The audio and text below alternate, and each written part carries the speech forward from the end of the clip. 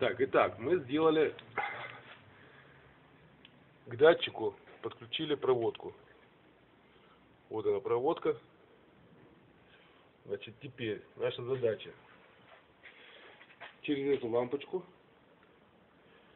через эту лампочку подсоединить, чтобы срабатывало.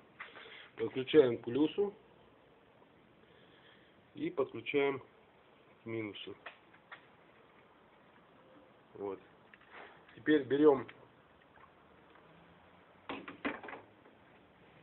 сам датчик и поднимаем вверх.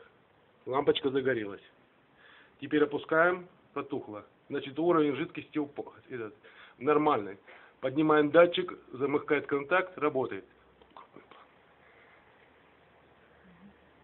Вот, замыкает датчик, нормально. Отпускаем, горит. Нажимаем, нормально. Жидкость ушла, горит. Ну, в общем, теперь я с датчиком. Можете меня поздравить.